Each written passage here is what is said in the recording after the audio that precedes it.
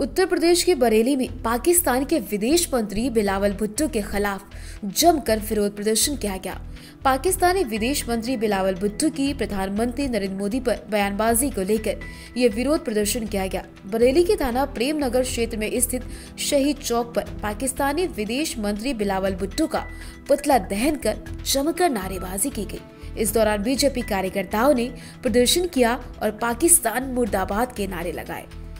पाकिस्तान के खिलाफ प्रदर्शन में बीजेपी विधायक जिला अध्यक्ष और महानगर अध्यक्ष सहित तमाम पदाधिकारी शामिल हुए। उन्होंने शहीद चौक पर बिलावल भुट्टो का पुतला फूक कर अपना विरोध दर्ज कराया।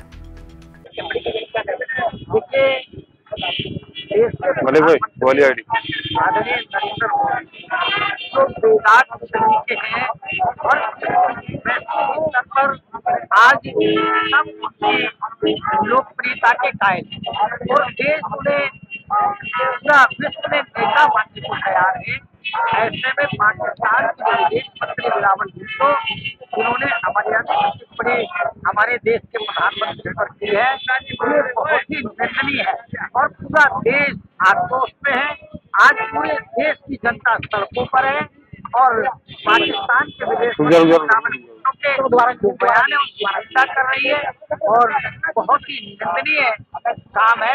और हम लोग पाकिस्तान के खिलाफ सड़कों पर उतर करके बिलावल भुट्टो का पुतला फूटने का भी काम रहे हैं और ये इसमें जो देश की जनता है, उसमें गहरा